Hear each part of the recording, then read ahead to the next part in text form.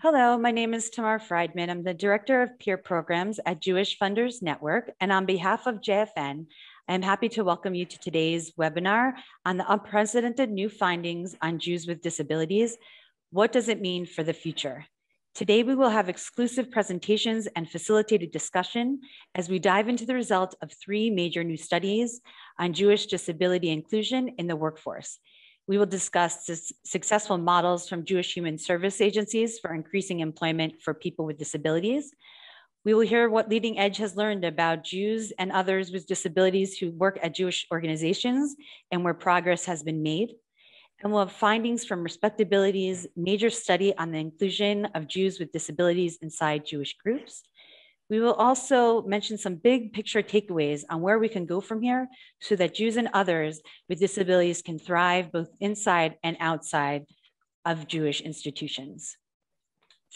And now I want to um, hand it over to Jennifer Mizrahi from Respectabilities to get us started today. And I also want to thank her to, uh, for being the generous sponsor of this event. It's made possible by the Mizrahi Family Charitable Fund in honor, in honor of respectability. So thank you, Jennifer. Thank you so much, Tamara. And I just want to give a huge shout out to the Jewish Funders Network. I've been a proud member for 21 years. My husband and I started immediately when we created our donor advised fund when we got married. And everything about the organization is fabulous because of this opportunity of partnering with peers all of the work that we're about to hear is really a result of mm. partnership and collaboration. If you want to go fast, go alone. Mm-hmm. If you want to go far, go with each other. Each of these mm. organizations we're going to hear with is a model partner mm. for everyone in the Jewish community. I had the great privilege of starting to work in disability because I was at a Jewish Funders Network conference when I heard Joan Alexander and Linda Lay Berger speak in Houston, Texas and the amazing mm. work that they were doing many mm. years ago ahead of everyone mm. else inspired me as to what was possible for the Jewish world globally. I'm very honored to work on these issues with Judith Creed, with Vivian Bass, with Shelley Cohen, with the Einstein Sims families, and so many others, and to have the support of the Schusterman family and the, um, the Jewish Community Foundation in Greater Los Angeles, and so many other partners. I'm going to turn it over to Matan Koch. Matan Koch is a wonderful Jewish leader.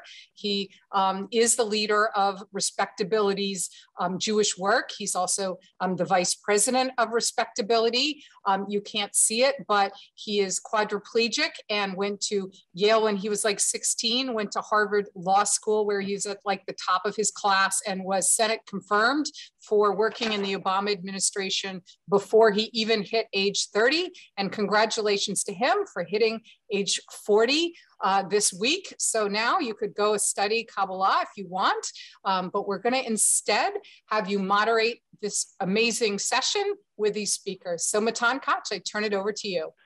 Thank you so much, Jennifer, and for that wonderful introduction. Spare me my blushes. We'll jump right over me, therefore, and introduce you to our fantastic panelists.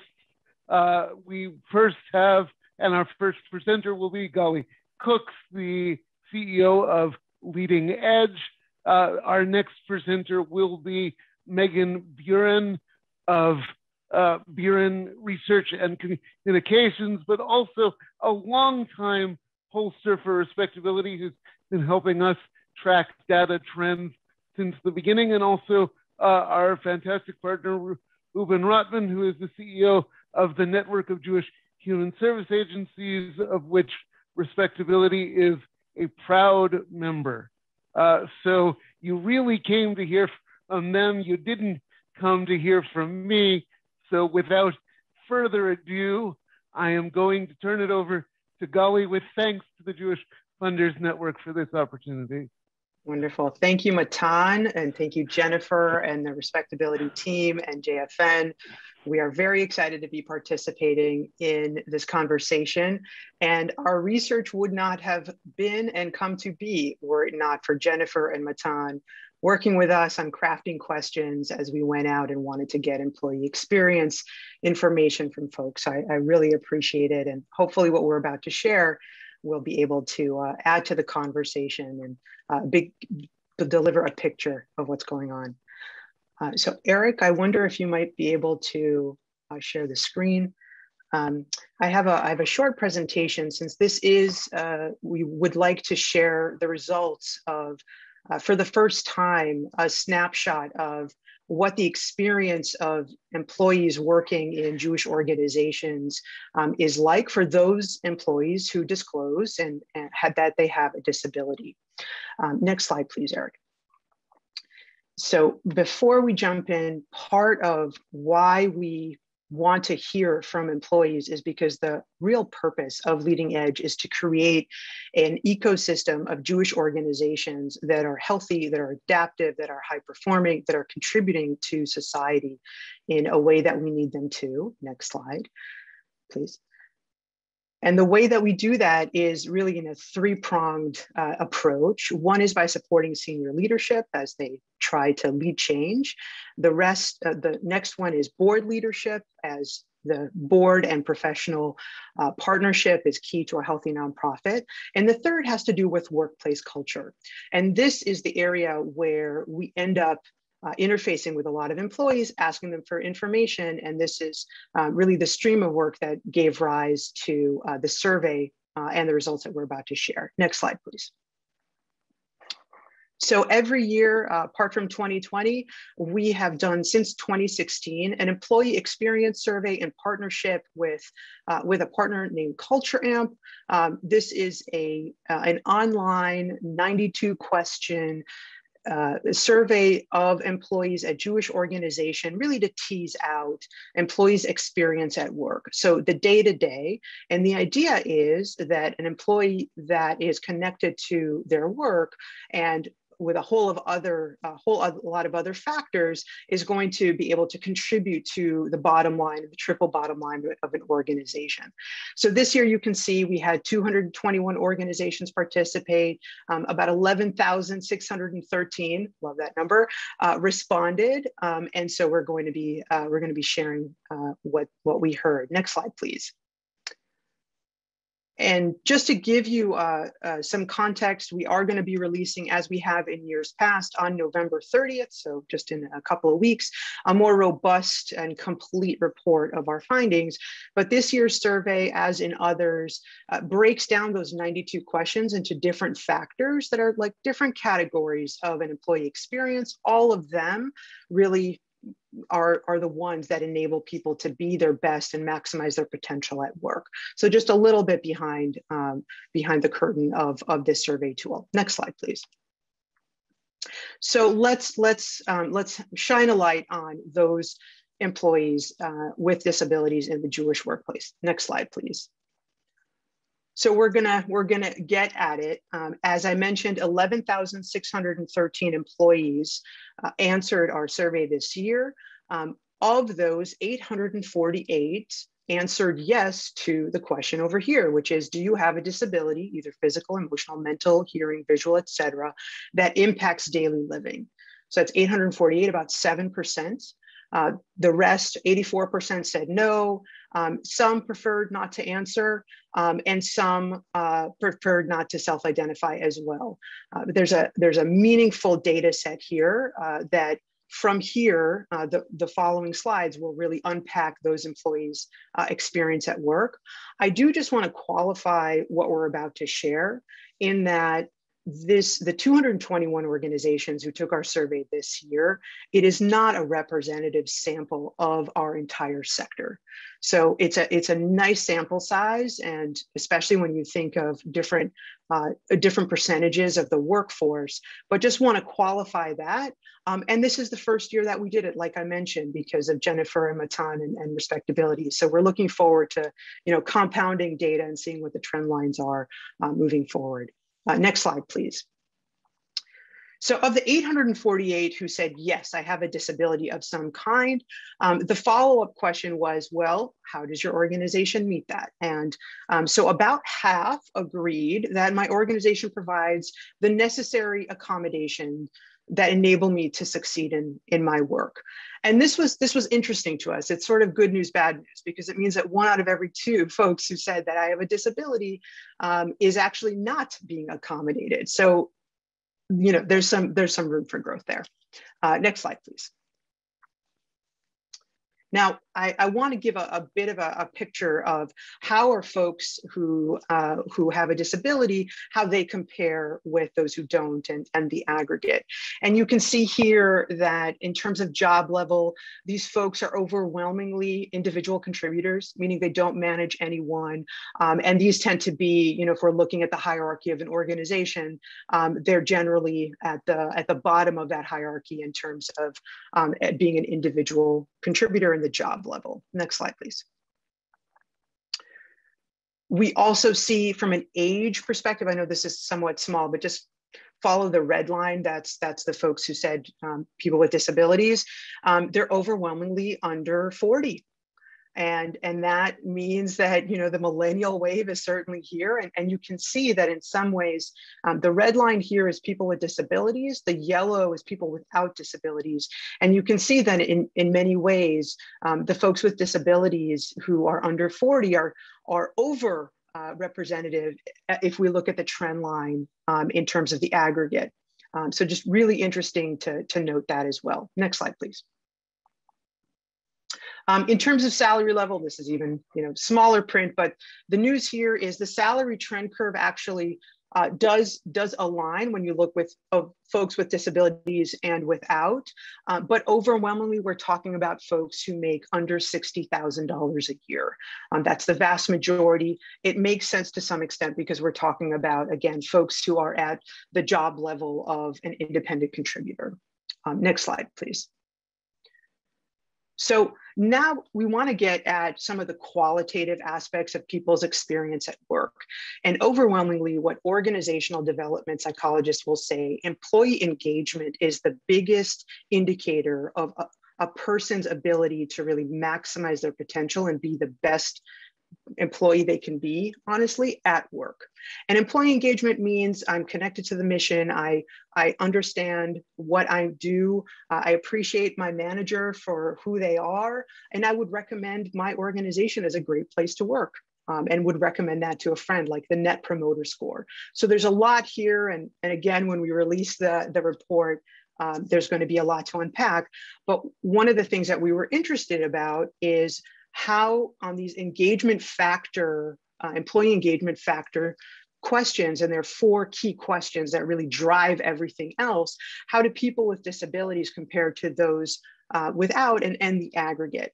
And it looks like there's quite a big gap, in fact, in this, um, in this data set. So you see that for our purposes, anything that is about 5% gap plus or minus is material. Um, so you can see in the four uh, engagement scores, there's um, overall, there's about a 7% gap, which means that employees with disabilities are less engaged at work than the aggregate and those without disabilities. Um, and that's, that's a pretty material and somewhat dramatic gap um, that, is, uh, that is worth noting. Next slide, please. Um, I wanted to, to also unpack, remember there are 13 different factors and some of them are really interesting to see um, where are the biggest gaps again between those folks who say I have a disability and those who do not, and then just the aggregate.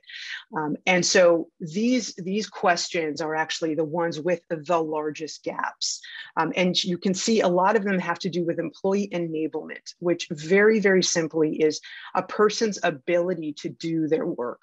And that can literally literally mean I have the hardware I need in order to do my data processing. I mean, it's it's a very straightforward kind of um, kind of uh, metric. Um, and it also means capacity. So it, you see that these are um, on the left side here, we've got factor, we've got the question in the middle here, and then you see the gap. Um, and there are, there's a trend here of folks, um, again, not um, those with disabilities really having a gap between, uh, you know, the more the trend line of the norm um, of the employees that we saw. And that falls under employee enablement, which again is, is, pretty, um, is pretty predominant here. Um, next slide, please. Um, just a, a couple of, of, last slides on really drilling down into some of these big gap areas and again unpacking another another layer. Employee enablement, like I said, is your ability to actually do your work in a very concrete uh, concrete way. Um, here we these are all the questions that feed into this factor in the survey, and you can see that there are uh, there are significant gaps of employees with disabilities and those um, who do not have disabilities around systems and processes, access to information, resources, and workloads. Um, and these are, are very much, um, again, all feed into an overarching experience at work that is notable. Uh, next slide, please. The other thing that we see, uh, especially I would say in light of the pandemic, is employees are craving a, a, a, workplace where they can really bring their whole selves. And there are many different factors that have little nuggets of this. Overall, that ability to really be yourself and to trust and be trusted is under the umbrella of psychological safety.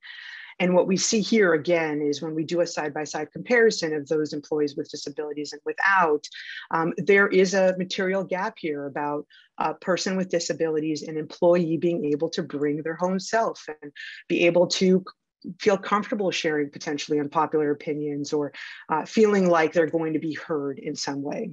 Um, and it's been it's been shown that psychological safety is really a critical driver for retention um, and and uh, ability to really um, enable employees to grow in their work. Uh, next slide, and we're almost uh, at the end here. Um, the the other one that you know was really interesting to, for us to look at is around learning and advancement where you know we have a bunch of uh, you know in some ways entry level you know low job level um, employees with disabilities. So what is that experience like as we think of you know where they want to be in the next two to three years and where that growth potential is? And here actually there is less of a difference than some of the others. There's still a gap um, in that there doesn't seem to be sufficient opportunities for professional development for these employees as compared with those without disabilities. Um, they're maybe not given as challenging or interesting work, so their day to day might not be as interesting. Um, but it does seem like there's there are opportunities for advancement and some mobility there, which is which is really um, encouraging. Uh, next slide, please this is really the, the, the final of it. I just wanted to give a little voice to some of the 848 uh, folks with disabilities. And here too, it's really, um, it's kind of a, a mixed, uh, mixed experience as, as all work experiences are. Uh, we heard a lot of comments throughout the, throughout the survey, and I just wanted to tease out a couple. You know, for some, uh, it's certain that their, their workplaces are giving them signals like, no, actually, I see that you have a disability. We can't accommodate you based on your job. Um, for others, they don't feel psychologically safe, it sounds like, to, um, to disclose what is an invisible disability. And still others, it seems like, are, are really embraced and, and able to do uh, their work in a way that really brings their whole self. And uh, uh, that really completes in some way the, the our snapshot of employees with disabilities and their day-to-day experience at Jewish organizations uh, based on the survey that we just completed. So Matan, back back to you, and thank you for the opportunity. Thank you so much, Gali. That was really interesting uh, and really food for thought, and I'm excited that we're going to get into it for discussion. Um, before I turn things over to Meagan, uh, Meagan has asked that I give a brief uh, introduction to uh, respectability to the organization that I work for that uh, sponsored her survey. And we are an organization and a nonprofit that fights stigmas and advances opportunities so that people with disabilities can be included in all aspects of society. We were founded on Jewish values. We base all of our work in those values. And while we have found, and this study bears out, that issues of employment and economic security are perhaps first and foremost, even in the minds of Jews with disabilities. We also collaborate with organizations throughout the Jewish world and beyond to make sure that uh, folks can participate uh, in their faith communities, especially within the Jewish community. Um, and we did this study because we only know how to target that work if we periodically check in and see how it's going, how are we doing, where do we need to refocus our efforts. So we're really excited that Meagan is going to share some of that with you now. And Meagan, I turn it over to you. Great. Thank you so much. And Eric, if you want to go ahead and pull up the slides, thank you.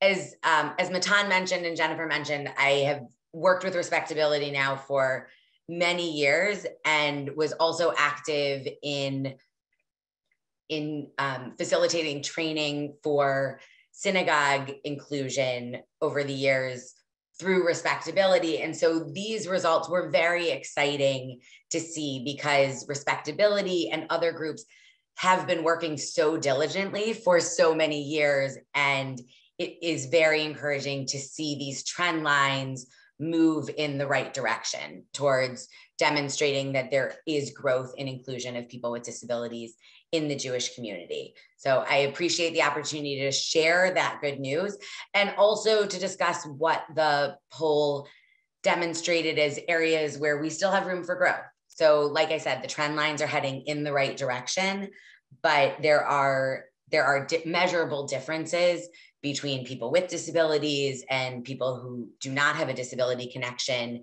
and that's helpful and instructive as the community continues to do that important work. Next slide, please. This survey was conducted in October. We reached out online and through the help of our partners and different outlets online. So, similar to what Gali said, we have a really good sample here and we can learn information from seeing the differences within a sample of over 2,300 Jews, but it is not a random sample representative of all Jews across the United States. Next slide. This is the breakdown of the Jewish respondents. So 646 people who identify as being a person with a disability, and you'll see our shortcut there, PWD. 1,477 are people who identify as being in the disability community. So they have a close personal friend, family member, are an unpaid caregiver, a regular volunteer in the disability community. And there is overlap there. So there are 336 people who are both a person with a disability and someone who is counted within that community. And lastly, 534 who say that they have no disability connection. And you can see the breakdown underneath that among denomination of Jews. Next slide. This is the breakdown of within those people with a disability what um, what disability they have. And one thing that i think is important to note is there are a large number of people identified here as having a non-visible diet disability which aligns and um, and helps us to learn even more from the study that gali just referenced because we're seeing these kinds of numbers and she's seeing very larger numbers than one might have expected in terms of people who are employed in the Jewish community with a disability. And so we are definitely seeing that there are people with non-visible disabilities who may not be comfortable disclosing in the workplace, even if they are disclosing online in the survey. Next slide. All right, so compared to five years ago, and I'll say this is a question where we asked it in 2018 and in 2021. Compared to five years ago, how is the Jewish community at including people with disabilities? So the good news, right, by 65 to 1, people feel that things are better. We joked in looking at this data that we have 0.19% as much worse and 1% as somewhat worse. That tracks to about four to seven people, which in our community, you know, there are more people complaining about kiddush than are saying that we are somewhat worse or much worse than five years ago. And so those are meaningful and important results to see that trend. We saw that in 2018 as well, that things were heading in the right direction. But even from 2018, what you see in the change is an increase of people that feel that the community is doing better, including people with disabilities.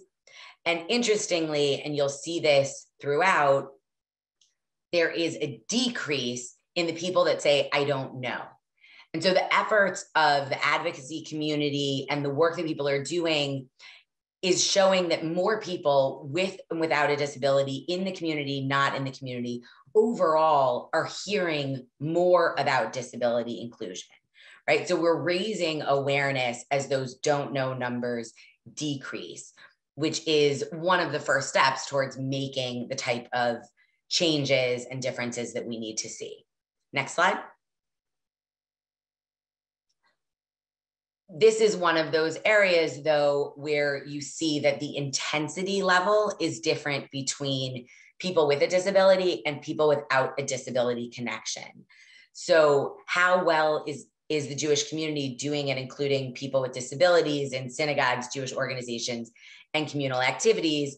14% of people without a connection will say extremely well, right? 23% very well. Whereas people with disabilities, you're only seeing 7% at extremely well and 18% very well. So the numbers overall are strong, but those type of differences demonstrate that the people who are personally impacted still don't feel that we are doing as well as the people who do not have a connection to disability.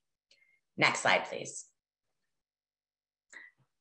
One of the reasons that um, one could conclude from this data that things are going better is the training and the awareness that's happening around diversity inclusion in general. And so we asked Has the leadership of the faith organization you most closely align with made a specific commitment to diversity, equity, inclusion that has been made public to management staff, stakeholders, and the public. And that's important, right? It's not just we put it on a website somewhere and we didn't talk about it again, or it's, you know, it's in a it's it's in the mission subsection 27 but we didn't really talk about it or share it it's not just the words it's the action behind it so we've seen first that 57%, right? A strong majority are, and there's a lot of people that don't know. And then if you can go to the next slide, within that, if their group has made a commitment, 88%, fully 88% of those have named disability as one of those areas. And that's an important distinction that we did not necessarily see in the past. It's a new question, so I can't track it to 2018. But we know from the synagogue work that we have done, that respectability has done, and others, that there was a push to put disability into this group to make sure that inclusion efforts included disability training as well. And so these are important numbers. Next slide, please the barriers, right, to more full inclusion of people with disabilities are almost identical to 2018. And the top choice is there's prejudice and unacknowledged stigma against people with disabilities. That's the top choice, whether it is um, people with disabilities. You can see that um, people without a connection are lower. But in addition, the other piece to note, we kept these the same as 2018, but there's a combination that could be made between the two that are highlighted, and I'll read them out. Religious leaders and activists want to be inclusive, but they don't know how, right? That's the more, um, that's the more forgiving, right? Response of we'd really like to do this, but we just don't have the training. And you can still see that those are high numbers, right? There's that is that is low hanging fruit, if you will, of people want to do this and just need the resources and the training in order to do it. And the other one takes a slightly more pessimistic um, or negative slant at including people with disabilities can be complicated and we we don't have the expertise to serve every need, which is um, I think has the more negative slant and says, you know, underlying potentially that's not something we're going to be able to do. But the combination of both of those of it's tough and we don't really know how are very high numbers. And those, like I said, are potential low hanging fruit for us as ways to knock down some of those barriers. Next slide. One of the um, one of the things that we do and did in crafting this survey was reached out to lots of partners to find out what they wanted to know and what we should add from the 2018 survey. And one of the things was we want to know where where are the where are the good opportunities right? Where are the success stories that have been happening in the community? And so we we changed this question slightly and ask not only about where are their challenges, but also where do you find the most access? And interestingly, we have a tale of two synagogues, right? So in some places, we're finding 21%, this is the, the most access as I see it in synagogues, whereas you see fully 18% saying that that is the largest challenge. And so we have definitely some shining examples of success in certain synagogues and others that are a continuous challenge for access and inclusion. Next slide, please.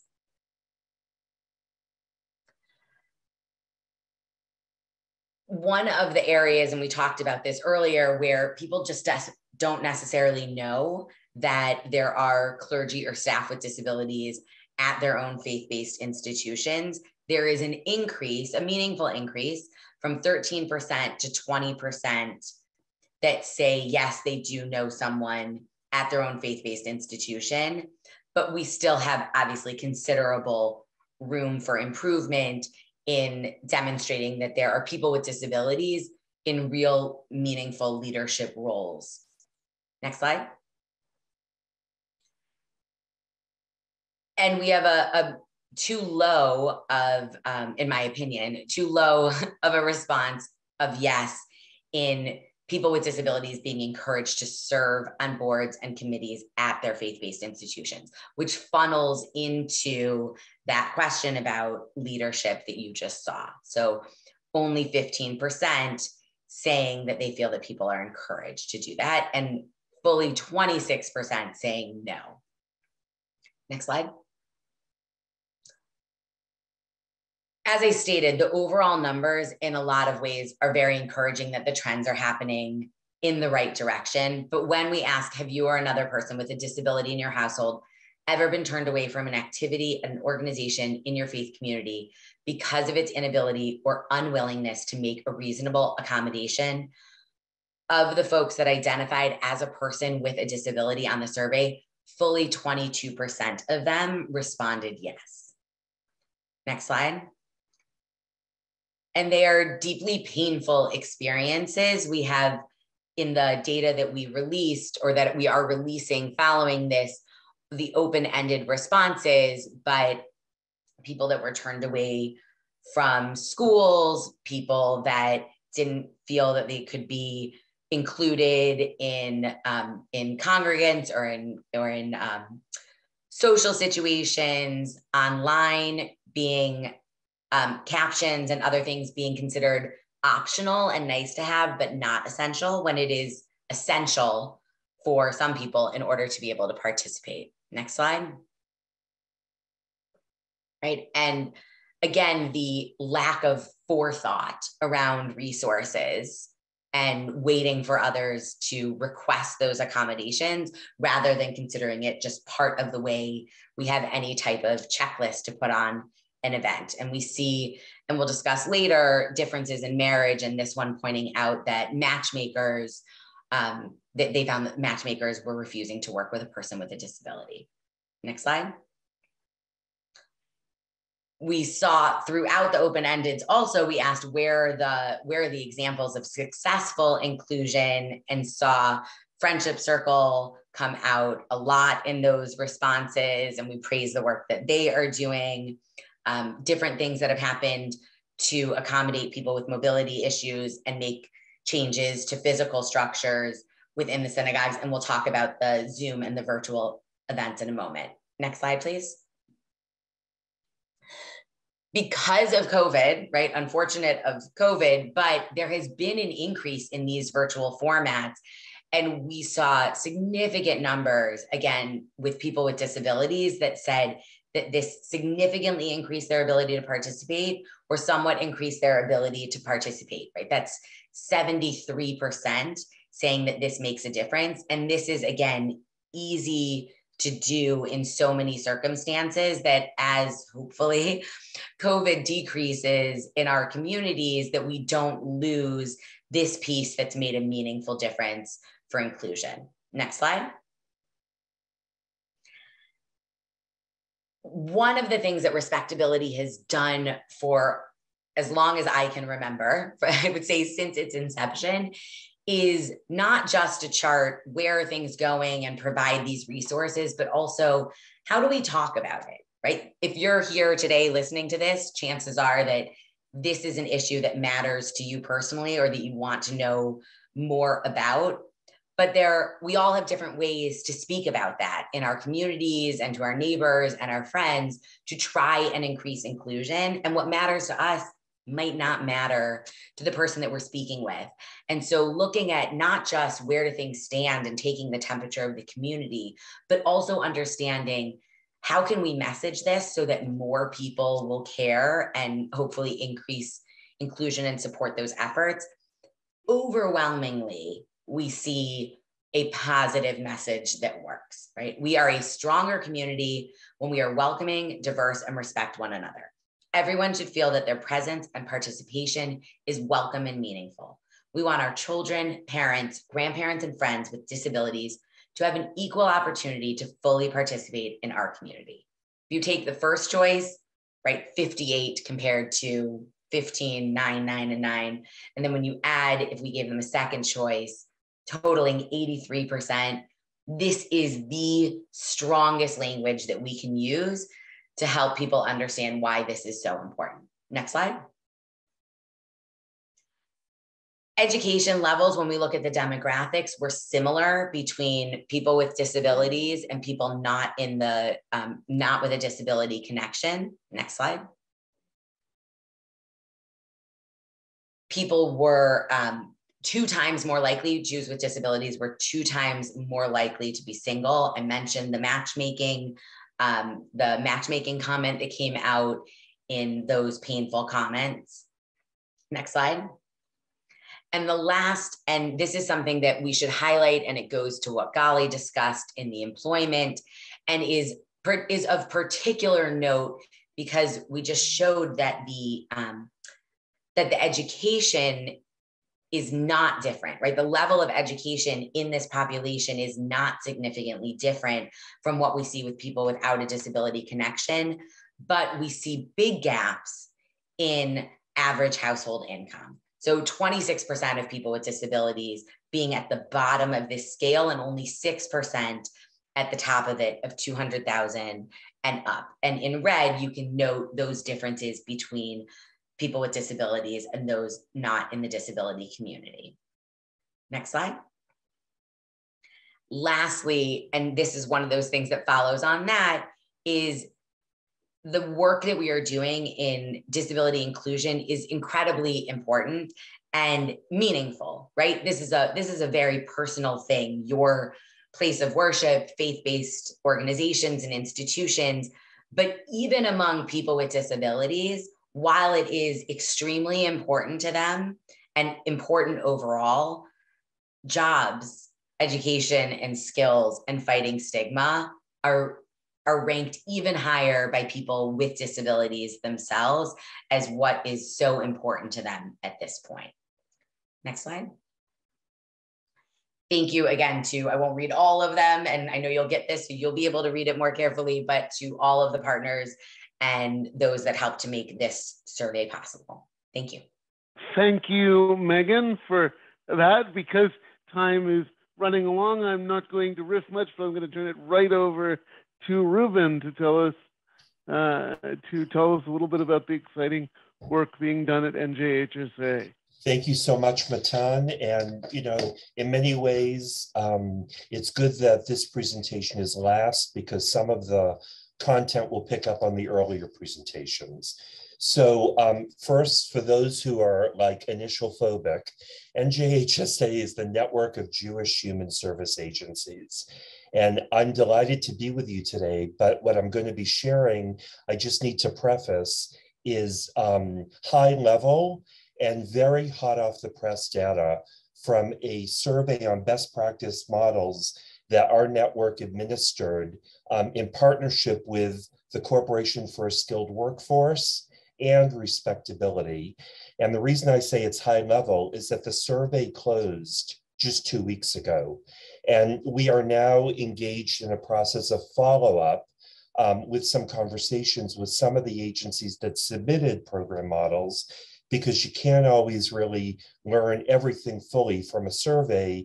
Um, we believe that we need to have some follow up conversations. That being said, to give you full context, the whole purpose of this survey came out of discussions that bubbled up um, within the job subgroup of the National Affinity Group on Jewish Poverty.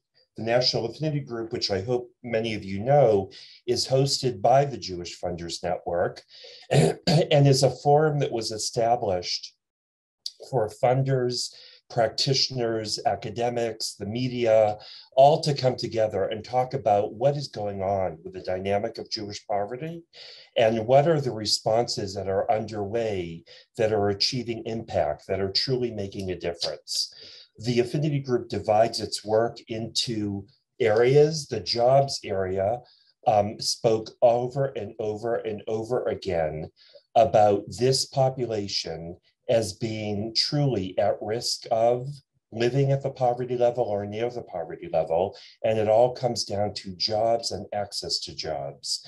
And so I want to thank the Harry and Jeanette Weinberg Foundation that really decided to commission a study and funded the network and the Corporation for a Skilled Workforce to partner with RespectAbility and design some type of a survey to collect and learn about best practice employment models. So let's go to the next slide. So just um, full context, the member agencies of the network are engaged in a wide range of services, supporting persons with disabilities, their families, and caregivers. Um, those services generally are grouped into two areas, residential and also community-based. And when we talk about community-based, it's not just around you know, mental health or employment services, there are efforts underway around self-advocacy, around engaging volunteers and the broader community, and certainly around family support. Next slide. in order to define best practice, this is one of those words that really gets thrown about a lot.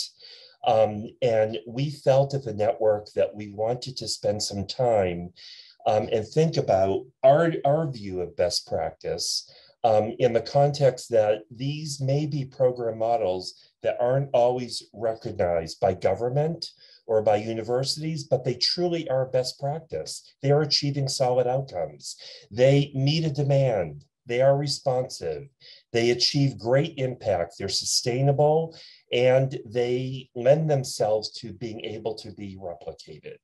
Next slide, please when we looked, used that definition, and we asked agencies to self-identify, think about program models that they administer that support persons with disabilities around employment, we see again a huge wide range, understanding that this population has a very broad continuum. There's a very, very broad group of people that, that may be identified as living with a disability. models ranging from supported employment to those that are social entrepreneurship, to those that really involve um, government positions through the AbilityOne program, uh, to those that are apprenticeship or uh, volunteer activities, a wide, wide range. And of course, significant effort around youth and pre-employment uh, to address the needs of the transition population. Uh, next slide. I'm trying to speak very quickly because I know we're running out of time. So of the data that was received, we received 18 different program models coming from network member agencies all throughout the US, Canada, and Israel. We also received 15 different program models coming from organizations beyond our network. About half of them designed their program model uh, focused on the needs of a particular sector or occupation, healthcare or technology, um, etc. Um, probably it's about half use both an individualized and a cohort-based model for supporting uh, persons around pre-employment. Um, most are using some type of job, job shadowing service. About half provide paid internships. And um, a big surprise for many of us, uh, the range of 80% are providing some post-placement job coaching, meaning after the client uh, secures employment, services are continuing. Uh, next slide. Just to give you a sense of the range of disabilities, IDD about 38%, learning disabilities about 12%. And on the lower end, but uh, those um, that are uh, struggling with a visual impairment or are blind or other type of hearing impairment, those are at the lower, lower percentages. But again, the higher percentages of clients that are being served, IDD, autism, cognitive, and, and learning disability. Uh, next slide. Um, no big surprise, I don't think. Why uh, most of the ages are between 14 and 24 um, and 25 to 50. Um, and and uh, a nice percentage uh, serving ages 51 to 65. Next slide. and with this, and boy, that was fast. I, I, just wanted to lift up one organization that submitted a couple of interesting program models. Israel Elwyn is a very large agency in our network based in Israel, providing both residential and community-based services for all ages, children, all the way through the elderly and older adults. and you see in their vision statement they foresee a society in which people with disabilities will be citizens with equal rights, where in which we all aspire to determine our own future and way of life. They're serving over 5,000 people annually. Um, let's go to the next slide. I mentioned that because um, they have a significant effort around self-advocacy, uh, which is growing um, in this country as well. They administer a large and very successful job placement program, providing on the job support, helping to connect persons with disabilities with a range of positions and also training opportunities. Um, and, and, you know, ultimately, they're providing jobs for thousands of individuals um, in a variety of sectors. All of this, though, of course, was transformed by the pandemic.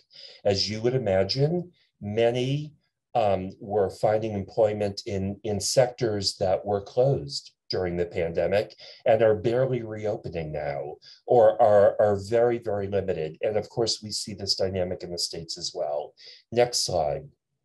So in order to address this, they initiated what they call an open door campaign because they really hold the view that so much of employment focuses and lands around access and stigma and addressing stigma.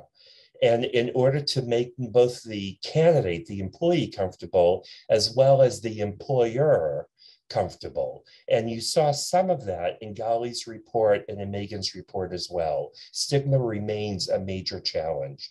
So I just want to share a super short video clip for their open door campaign. אתם מעסיקים. סליחה, חמוד, אתה מפריע לי, אני עובדת. אתם מעסיקים. מסורת חופית, היא מועסקת, אז איך זה קשור אליכם?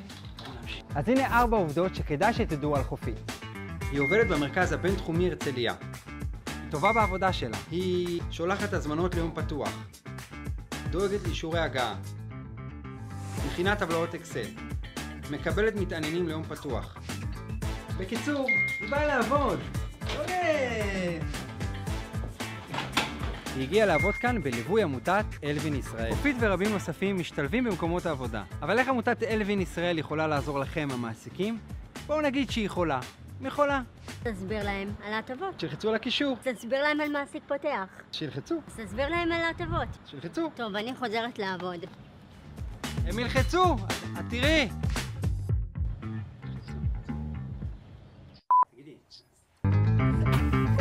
So, so we could spend time analyzing this video, but at the end of the day, this is all about addressing stigma. And there is a perception, perhaps held by some, that persons with disabilities don't want to work, are too challenging to have in the workplace. This video, this campaign effort really tries to address that um, thought it would be a nice way to end. At the end of my slide deck, which you'll get after this recording, you will see a list of all the programs that submitted their models um, and hyperlinks to learn more about the programs uh, on their websites. So thank you. Thank you all. Thank you, everyone. Um, wow, that was so much informative data that we're actually uh, a little further along in the hour than we had expected to be at this point. We had planned for a very robust uh, discussion of your questions. Sadly, our ASL interpreter must leave promptly at 11. Um, so uh, we are going to jump right into some questions. We may be able to stay a little while longer, but we are cognizant of the fact that we lose full accessibility uh, right at 11 o'clock. Um, and uh, we'll plan accordingly. I want to jump right into a question that I feel gets into the heart of what all of us are looking at, which is that um, when we look at the RespectAbility data, we see that only uh, one in five of our respondents can identify um, a leader with a disability. I, I see that someone put it in the chat that they wanted to know the source of Meagan's data. The first slide of her presentation lays that out completely, and we'll be providing the PowerPoint deck, so we won't go into it here. Um, but so again, whereas Gali's data tells us that when people could do a confidential survey, 7% of employees, that is to say, uh, you know, the same percentage that the federal government targets unsuccessfully for federal contractors are in fact people with disabilities in the Jewish sector. So the question to my mind becomes, and I think it's one that all three of you might have insight into because Reuben, after all, your data is looking at successful employment models, is what can we do to change the stigma question so at the very least that 7% from Gali's survey uh, become visible and proud in the survey that RespectAbility has done, and that maybe the work of the organizations that Reuben is working with gets us from 7% to closer to the one in four adults we know, in fact, are people with disabilities. So, so who would like to jump first? I, I, am happy to jump first. I just want to give a shout out to a phrase that Gali threw into her presentation, which is psychological safety. This ultimately all comes down to everyone feeling comfortable, not only the employee, but the employer. And if leadership, there's a there's a phrase, you know, the buck stops here. If if if the buck or or the leader of the organization doesn't feel comfortable disclosing a disability, that sense, that value is going to permeate throughout. And I do believe um, that that tone of feeling safe is a critical reason why people stay employed where they're employed. And uh, you know that's where i think we need to put our energies. Very good. Thank you yeah, Reuben. It, Gali, do you and, want and just to yeah yeah just to build on top that i mean there there really there are three different steps that we see could be successively you know building to that vision of the the kind of representation that we all want. One really starts with some of the basics. I mean that employee enablement number in some ways it's it's really sad and and disappointing. In some ways it's incredibly encouraging because it's fixable we're talking about systems, we're talking about processes, we're not talking about people changing their personalities. These are technical and not adaptive. And that feels like low hanging fruit, which will clear the path and potentially build momentum to the second phase, which I think is, is something that uh, Reuben gestured to, is psychological safety. I think there we need leaders to model a certain level of openness, of disability, um, awareness, uh, and those types of, of factors. And the third, I think, is, is that learning and advancement piece, which there too, there was some good news. We do have folks who seem to have almost like sponsors, you know, folks who are like, you know what, Matan, you got something. Let me like make sure I can help you know clear a path for you although you don't need help sir you know so it's uh it's i, I think that's there there's some nuggets here that can really provide a roadmap uh, for that vision. Thank you so much. And i wanted to say Meagan absolutely jump in but also feel free to pull in jennifer as well for the RespectAbility uh, perspective uh, on that. Sure. I, I will i will turn that over to her. But i think there's an intersection of three different questions that came out of the data that are important on this. One is we still clearly see that stigma and prejudice is the top barrier, right? And we've discussed that. And how do we address that? One step that was in a positive direction is knowing that disability is now called out as part of diversity efforts within faith based organizations. But the other part is knowing that the um, the instances where they're saying i still don't know how to do this are very high and there are resources out there and training resources and i know RespectAbility can speak more to how that um, how that changes the, the intersection of all three of those i think is important to making sure that people feel able to be their full selves and that our organizations know how to best accommodate and be inclusive I think in Jewish life that what gets measured gets done.